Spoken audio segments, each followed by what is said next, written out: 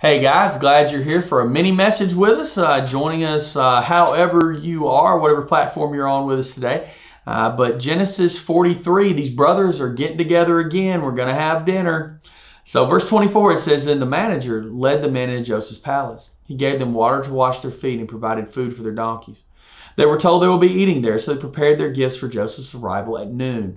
So remember, they thought they were going to be thrown in jail. They thought this is going south. We're going to be thrown in jail. They gave their practice speech about the money that they had uh, been had been put back in their sacks after they got food the last time.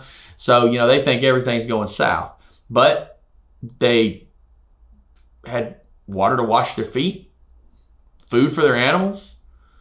They apparently are going to eat lunch. Verse 26 says, When Joseph came home, they gave him the gifts they had brought him, then bowed low to the ground before him. Which remember, too, that is another fulfillment of prophecy.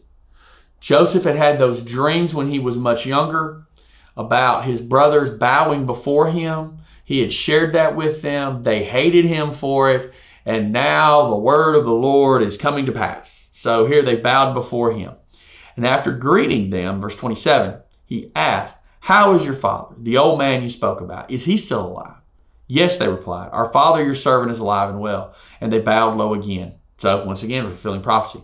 And he's asking about his father. You know, they have no idea, but he's asking about his own father. Then Joseph looked at his brother Benjamin, the son of his own mother. Is this your youngest brother, the one you told me about? Joseph asked. May God be gracious to you, my son. Then Joseph hurried from the room because he was overcome with emotion for his brother. He went into his private room where he broke down and he wept. So these brothers are expecting to be arrested, to be seized, thrown in jail. Instead, they're treated with kindness. And this really matters here because remember, these brothers had not treated Joseph with any kindness. And now here comes Joseph back, showing them the grace of God, is what he's doing. He's showing them grace, unmerited, unearned favor and forgiveness. They deserve none of this. Joseph is showing it to them. So see, God's putting been putting them through these trials of the famine, of struggling with the money, the food, the putting Simeon in jail. Jacob's been very nihilistic about the whole thing. He he he's been upset. He's not trusting in God. And so they've been brought to this low place. And now here comes Joseph, and he's going to show them love and kindness and forgiveness. It's this is part of bringing them to repentance. Is what's happening here. Now, when he sees Benjamin, he, he really struggles because you remember said this yesterday. This is the one brother that didn't throw him in throw him in a, a, a hole, right? That didn't throw him in a cistern. That didn't sell him to Ishmaelite traders. And this is his full brother, the brother from his own mother. And so he breaks down. He's very emotional about this. He hasn't seen his brother in so long.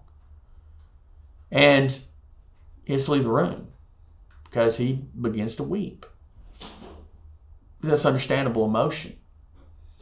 But this story is uh, about to come to a happy ending.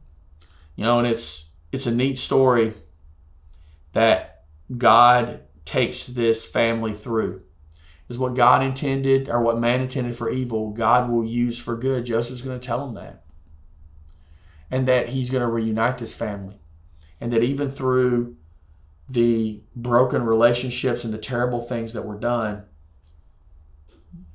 God overcomes. So, whatever's happened in your life, the relationships that may be broken, the hurts that may have happened in the past, the, the things you've gone through, just like God overcame in this family, God can overcome in you and in your family. It's a great message that nothing is ever too broken for our God to fix. He's just that big.